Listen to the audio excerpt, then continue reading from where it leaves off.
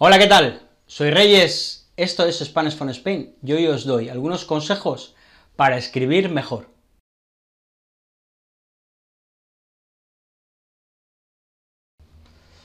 Hola, ¿qué hay? Soy Reyes, ¿qué tal? ¿Cómo estáis? Bueno, en primer lugar, deciros que eh, este vídeo, esta lección, está pensado para aquellos que os vais a presentar al examen del DELE. Sobre todo el nivel B2, eh, del, nivel B2 hacia adelante. Eh, creo que os puede ser útil para mejorar vuestra expresión escrita, y son algunos consejos que os pueden ayudar, si los seguís, a conseguir una mejor nota en el examen, en la expresión escrita. No obstante, y dicho esto, también si eh, tenéis problemas eh, o vuestra expresión escrita, sois nativos, pero vuestra expresión escrita deja un poco que desear o, os viene bien eh, mejorarlo con algunos consejos, también os va a resultar útil este vídeo. Bueno, empezamos pues, por lo tanto, vamos a mejorar nuestra expresión escrita si lleváis a cabo, o vais a mejorar vuestra expresión escrita si lleváis a cabo estos consejos. En primer lugar, usa el segundo y el, y el tercer condicional.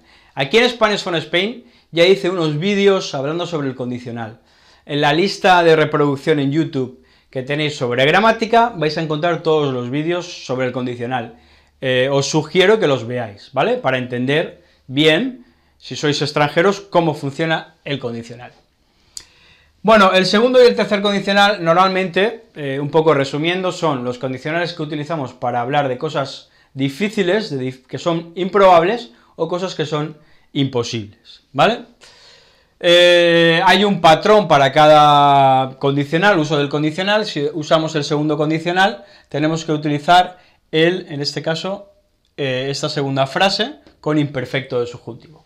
Si fuera más fácil, no tendría problema alguno, ¿eh? Si algo fuera más fácil, yo no tendría ningún problema. Y este es el segundo condicional. Bueno, cuando usamos el condicional, estamos utilizando tiempos verbales que no son tan comunes, y estamos utilizando una estructura que es un poco más compleja de lo habitual.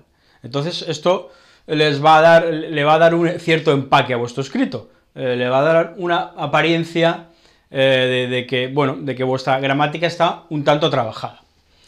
Si utilizamos el tercer, condicional, decimos entonces, o utilizamos pretérito pluscuamperfecto de subjuntivo. Si hubiera optado por otra solución, ahora su situación sería más ventajosa. Por ejemplo, dice esta frase, ¿vale? Es un supuesto. Bueno, es una frase un poco eh, compleja, y esto es lo que nosotros queremos eh, cuando eh, hacemos el examen del, del DELE. Es complicado preparar un listening porque no sabemos qué vamos a escuchar, y la única manera de preparar un listening, la prueba auditiva, es escuchar mucho.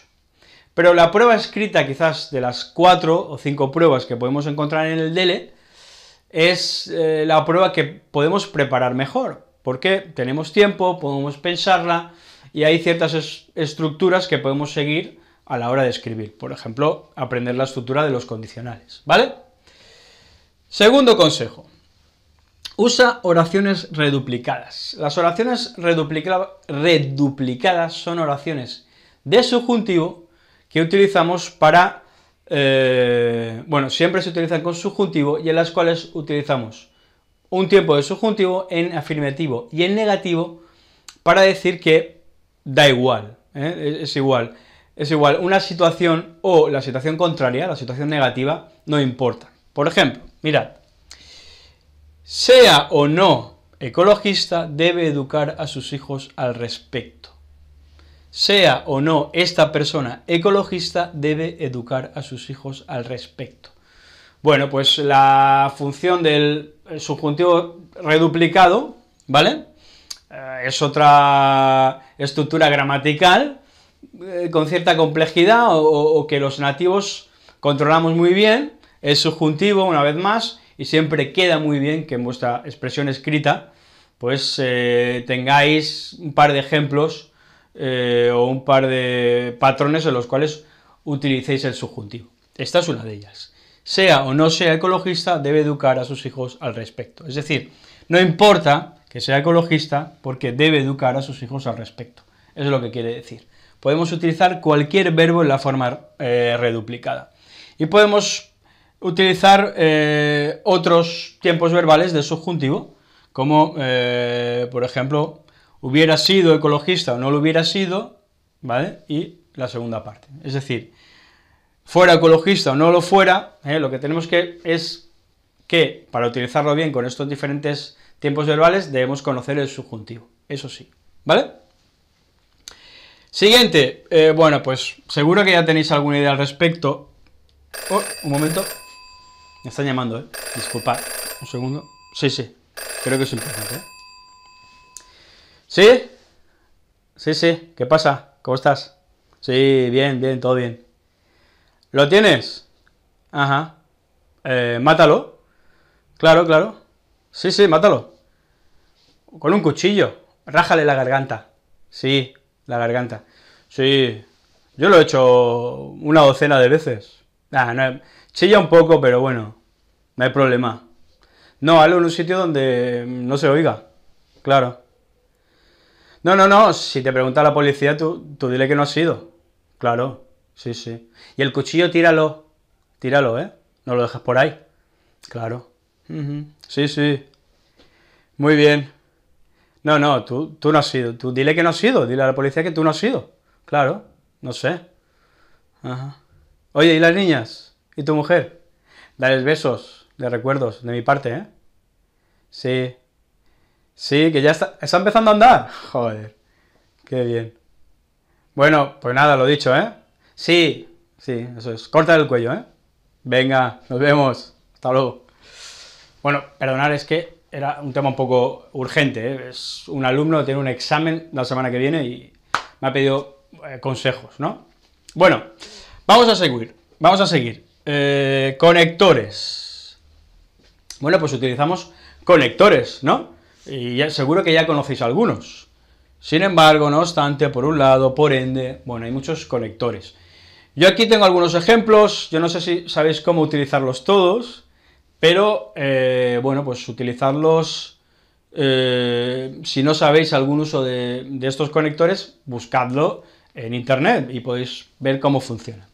Yo he utilizado, por ejemplo, no obstante. La apariencia era buena, no obstante, su salud no lo reflejaba, ¿vale? Y es una frase, pues, que queda ahí, le da un toque ahí, guay, ¿vale? Chulo, ¿eh? eh competente a nuestro escrito. La siguiente expresión es por ende, no es una expresión muy popular, tampoco, por, tampoco los nativos la utilizamos mucho, pero eh, es muy culta, queda muy bien. Por ende quiere decir por tanto, ¿vale? Entonces, por ende la situación pasaba por un consenso, por lo tanto o por tanto, la situación pasaba por un consenso. Podemos utilizar por tanto, pero este por ende ¿eh? le va a dar un puntillo ahí más de, de nivel. Siguiente consejo que os puedo dar, sugerencia, pues por ejemplo, esa estructura, no solo, sino que, ¿vale? Queda muy bien. No solo apenas dormía, sino que también tomaba mucho café, ¿vale? Ese es nuestro ejemplo. Os repito, no solo apenas dormía, sino que también tomaba mucho café, ¿vale? Pues aquí eh, lo que hacemos es enfatizar que una persona eh, tiene problemas de sueño y además toma mucho café. Y con esta estructura de no solo, sino que, pues eh, lo podemos hacer. ¿Veis? Como es un tanto compleja, pero bueno, esto es lo que va a hacer al final que vuestra puntuación en la prueba escrita sea más alta. Y es importante porque la prueba escrita se puede preparar muy bien, ¿vale? Entonces, si alguna otra parte del DL la llevamos un poco más floja, pues esta nos puede ayudar a, a superar la nota global del examen, ¿vale? Por último, pues eh, dos expresiones que podemos utilizar, por lo que a mí respecta, es una manera de dar opinión, o hablando desde mi experiencia personal, es una manera de decir que es, una opinión y está basada en algo que te ha pasado a ti. Son dos estructuras que podemos utilizar. Vamos a ver el ejemplo. Por lo que, he puesto por la, no por la, es por lo, por lo. Por lo que a mí respectaba, ¿eh? lo he utilizado en imperfecto porque sitúo la acción en el, pasado, por lo que a mí respectaba, el, el, problema se agravaba aún más. El problema se hacía más grande, ¿eh? agravar, un verbo también que podéis utilizar en vuestro escrito. Eh, de la misma manera, podría decir en esta frase, porque opino, hablando desde mi experiencia personal, el problema se agravaba aún más. Es decir, a mí me ha pasado esto y esta es mi opinión. El problema se agravaba aún más. ¿eh?